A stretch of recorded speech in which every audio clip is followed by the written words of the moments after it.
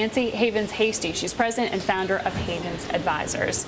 So, I mean, Nancy, maybe it's just a news cycle, but it certainly seems like this is a full court press to get deals done as soon as possible. Why now? Well, stock market has fallen, so the values are very reasonable right now. In addition, after two years of cost-cutting measures by most major corporations, there are hordes of cash on corporate balance sheets. And there's not much to do with that cash with short-term rates as low as they are right now. It actually impedes earnings to have your cash just sitting there. Mm -hmm. So the combination of reasonable stock price values combined with cash hoards is making for a wonderful merger environment. Well, yesterday the market seemed to view the interest in acquisitions as perhaps a positive sign that a company was looking at another one and saying, you're worth more than what the market is pricing you at right now.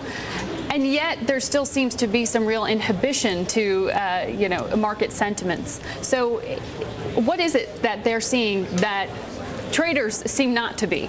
Well, I think you can expand specific product areas that you've been looking at for a long time at reasonable rates right now. And that's why targets are attractive. We are seeing more hostile deals, and that's because the targets aren't so happy -hmm. with their values and would rather get higher values. But even at higher values, they're still reasonable multiples compared with anything and you know from 2008 and before. Right.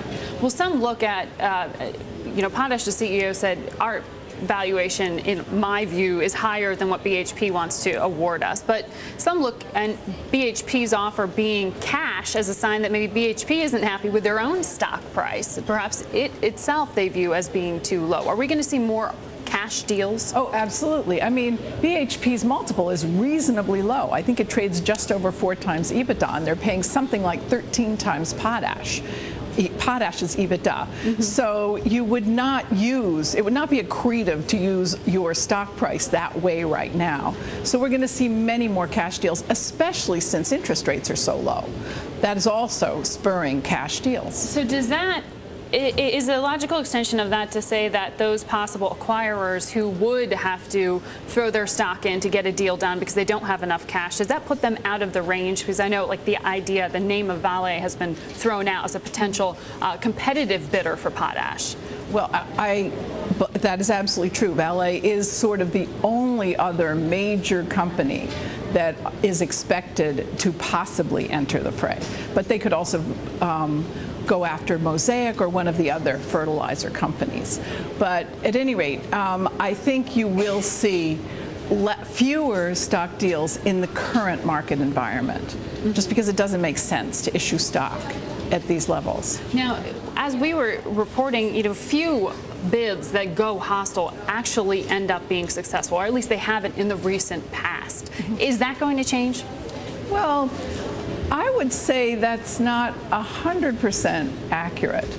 Um, a, a, lot of the, we, we, had a Kraft deal, Kraft Cadbury that was hostile. It took us, what, five months or more to It may to take a very long time, but we've had several hostile deals that have very, very large deals. Well, according to Bloomberg data, only one in three hostile deals since 2000 has been successful. But they may not be counting success as being purchased by another acquirer. As far as we're concerned, whether, when a deal gets done, whether it's done by the original acquirer or by somebody else, we're just as happy.